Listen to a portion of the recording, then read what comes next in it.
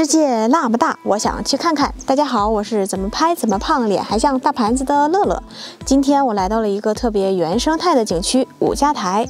五家台是免费的四 A 级景区，被誉为茶旅融合的典范。为什么这么说呢？因为啊，这里将茶文化与旅游完美的结合到了一起。来这边旅游的游客可以休闲度假，他可以一边休闲度假，一边体验茶文化，看茶园，特别的好。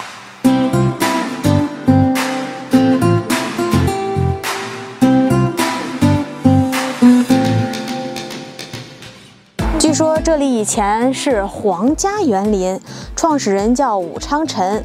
一七八四年的时候，武家台的茶叶呀被进奉到了皇宫。乾隆皇帝尝了之后，哇，觉得这个茶叶人间少有，龙颜大悦，就御笔亲题了“皇恩宠惜”四个字，做成了金牌匾，赐给了武昌臣。现在金牌匾被供奉在武家的宗祠里。这块大石头呀，是后来才做的，并不是。乾隆皇帝亲笔题的。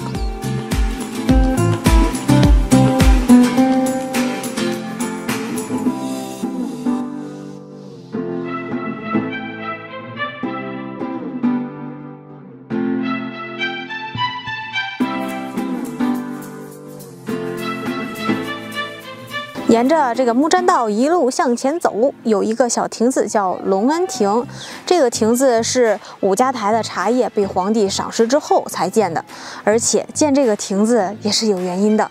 茶叶火了之后啊，来这边的人越来越多，但是人多却没地儿歇脚，所以大家就给武昌臣提建议：“老弟呀。”我们这逛着逛着逛累了也没地儿歇呀，你建个歇脚的地儿吧。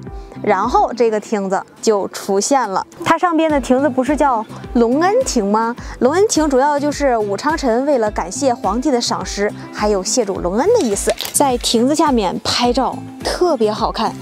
万绿丛中一小亭，嗯，绝了。在隆恩亭的对面有一个大茶壶，我打算等会儿去那边看一看。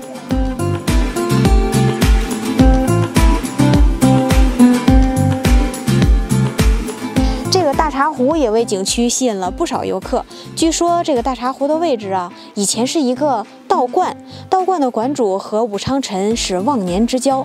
不过岁月流逝，名人已故，后人为了纪念他们，就在道观的这个位置上修建了一个大茶壶。之后又在道观的遗址中挖出了一个刻有“壶里乾坤大，玄机笑谈”中的铜壶，所以就给这个大茶壶取名为乾坤壶。